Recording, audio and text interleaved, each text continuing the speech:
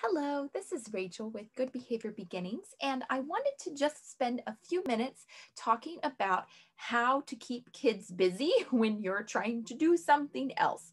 Now, for us, that has been how do I keep my kid entertained when they have downtime and I have to work from home? So I came up with sort of like a little game um, that I'm calling Boredom Boredom Buster Bingo. And all it is, is a five by five grid that I made in Word, I think. And I just typed in some ideas of activities, things that they could do online or in the house while I'm busy, that they could do independently. Um, I made two game boards because I had enough different ideas. And in the center of all of them is read because I do want to encourage that reading and uh, see if, you know, we can get them interested in reading on their own.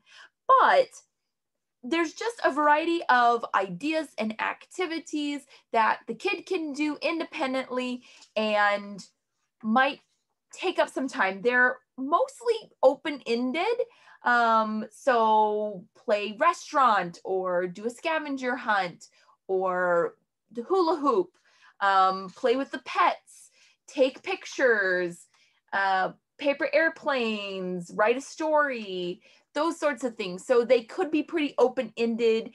They're just to sort of brainstorm, get some ideas going.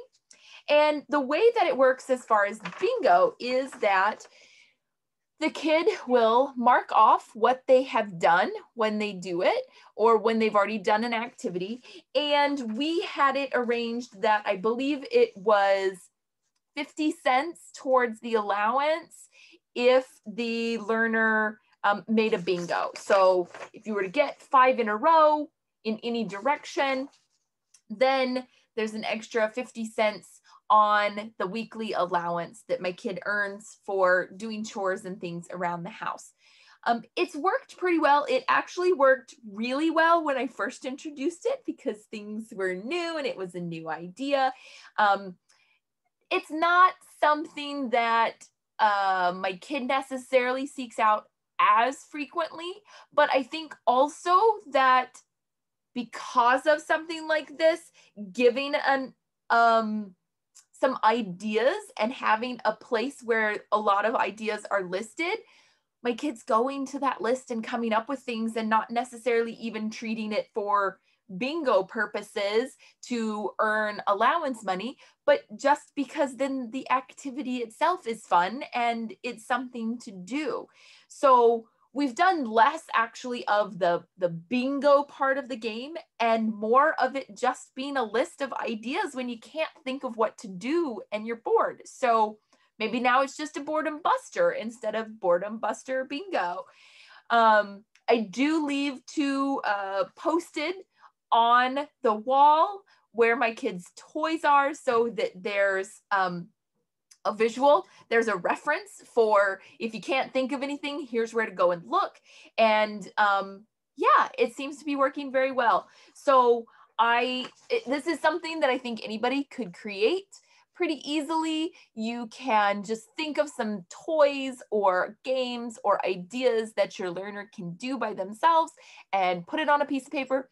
Doesn't have to be typed. I typed it because we were going to have them mark off, but you could handwrite it and then maybe put it in a um, what's that called? A page protector so you can dry erase mark over it if you wanted to do the bingo portion. Um, or you can just handwrite new ones every time and, and switch up the ideas. And i might switch up these activities too now that we've been doing these for a little while. And that will probably um, make it more fun or just add another game board right? Now there's there's two game boards, maybe there'll be three game boards in the future.